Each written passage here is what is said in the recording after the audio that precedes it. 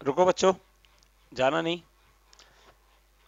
आ, अचानक से मेरे को दो तीन क्वेश्चन और याद आ गए जो मुझे ऐसा लग रहा है मैंने नहीं करवाए ठीक है? तो मुझे लग रहा था पहले कि मैंने करवा दिए लेकिन ऐसा नहीं था। तो मुझे अब याद आया मिसलेनियस का क्वेश्चन नंबर सिक्स मिसलेनियस का क्वेश्चन नंबर सिक्स ठीक है? तो प्यारे बच्चों एफ़ ऑफ़ एक्स ये दिया हुआ आपको four sine x minus two x minus x cos x upon two plus में कॉस एक्स ये दिया हुआ है।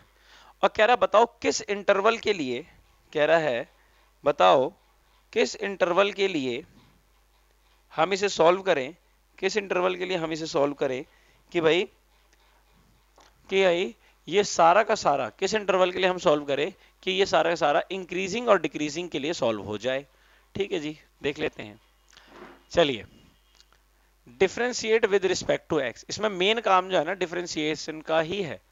एफ़ डैश एक्स बराबर हाँ जी, ऊपर वाले का derivative four sine x minus two x minus x cos x ये नीचे एज इट इज़ बीच में माइनस ऊपर वाला एज इट इज़ और फिर इसका डेरिवेटिव और नीचे इसका स्क्वायर एफ़ डैश एक्स भाई फोर साइन एक्स मतलब four cos x two x two x cos x का डेरिवेटिव तो भाई इन दोनों में तो प्रोडक्ट रूल लग जाएगा ना, दोनों प्रोडक्ट रूल क्यों? क्योंकि दोनों अलग अलग हैं. तो x का one cos x as it is plus अब x और कॉस एक्स का माइनस साइन एक्स ठीक है जी? और ये ये पूरा अलग है। और ये टू प्लस में कॉस एक्स अलग है। Minus four sine x minus two x minus x cos x two का ज़ीरो कॉस का minus sine x upon two plus cos x का होल स्क्वायर ठीक है?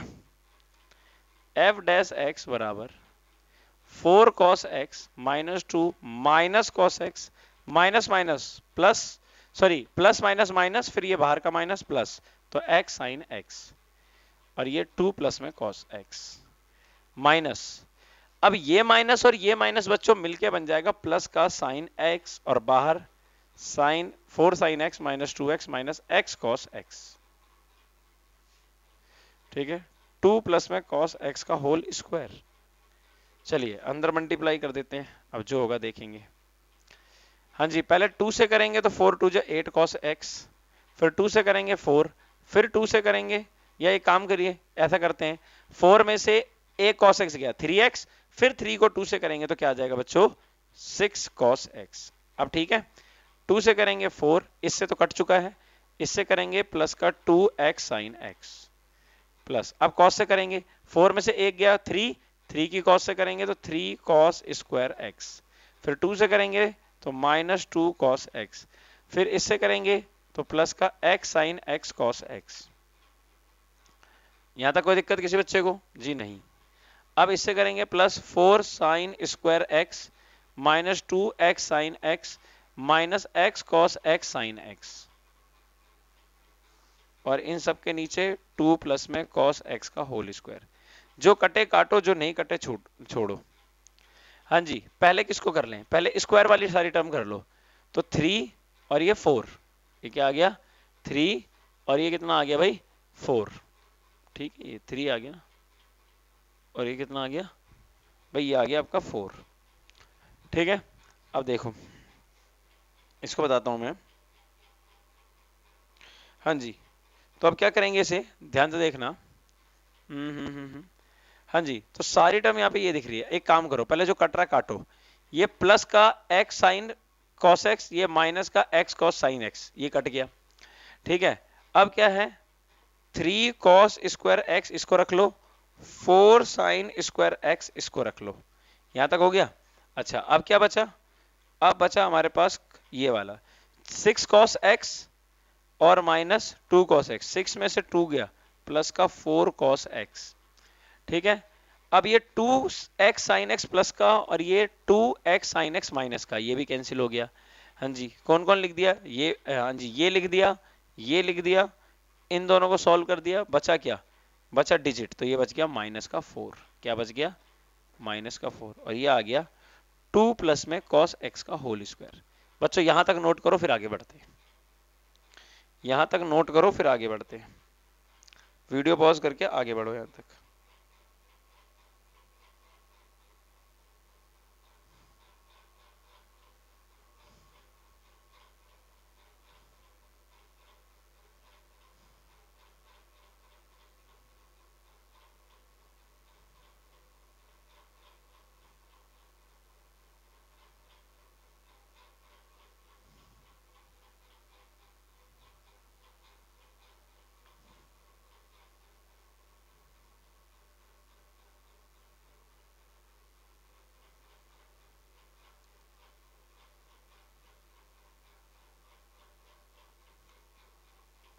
ठीक है बच्चों? अब देखो, ये आपने नोट कर लिया होगा। चलिए। ओहो। चलो, करते हैं कुछ अब। मैंने नीचे से ही कर दिया अब।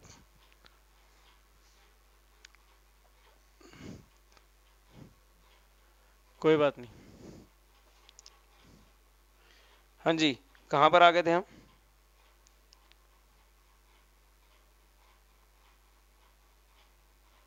यहाँ आ गए थे हम। F dash x three cos square x plus four sine square x ठीक है? और क्या हो गया था? Plus four cos x minus four upon में, ठीक है भाई? Two plus two plus cos x का होल स्क्वायर भाई, यहाँ तक पहुँच गए थे हम। अच्छा अब आप ये देख रहे होगे कि सारी टर्म किसमें चल रही है? कॉस में। बस यही साइन में। तो हटाओ ना इसको फिर।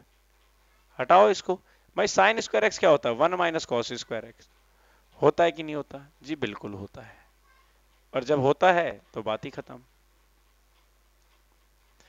तो ये three cos square x plus four minus four cos square x plus four cos x minus four two plus cos x का होल स्क्वायर भाई प्लस का फोर माइनस का फोर कट गया।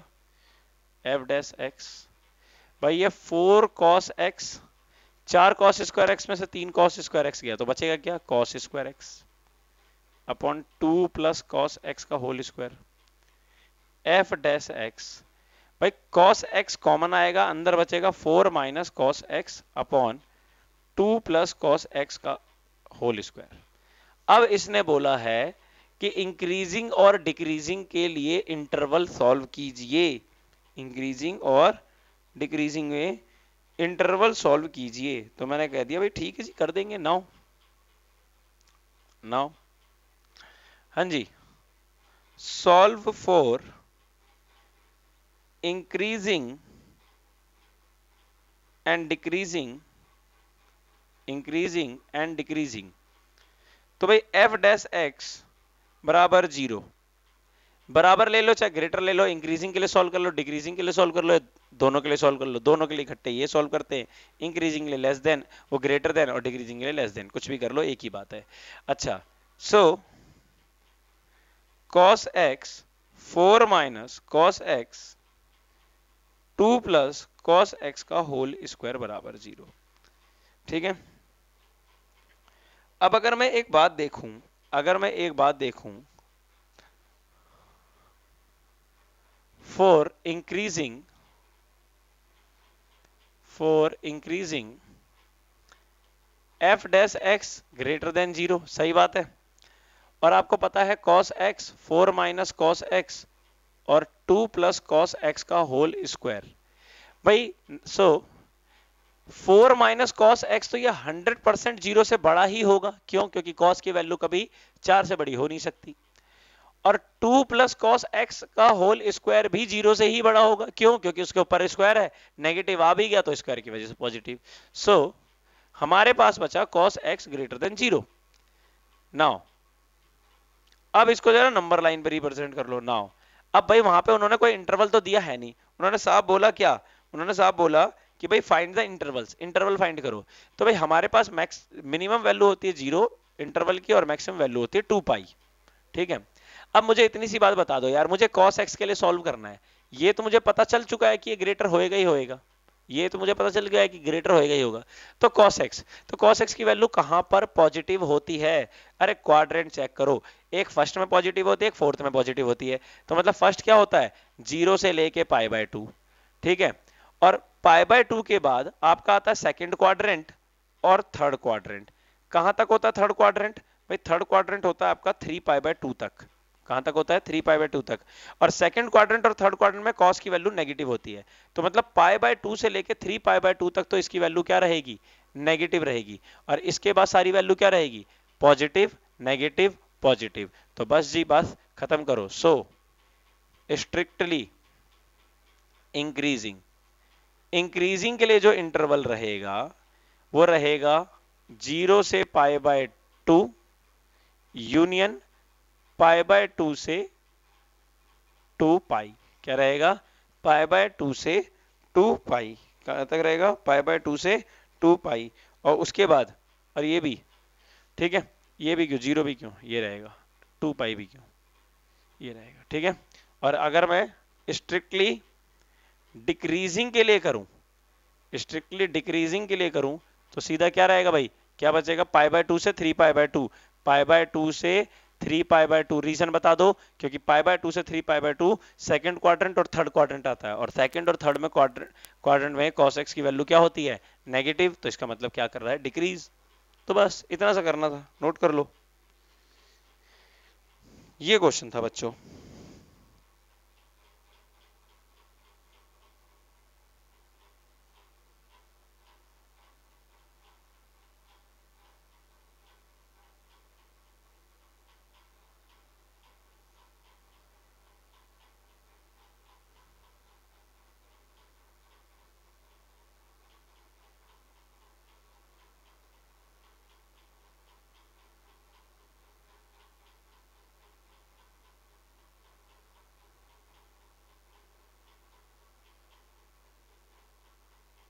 ठीक है?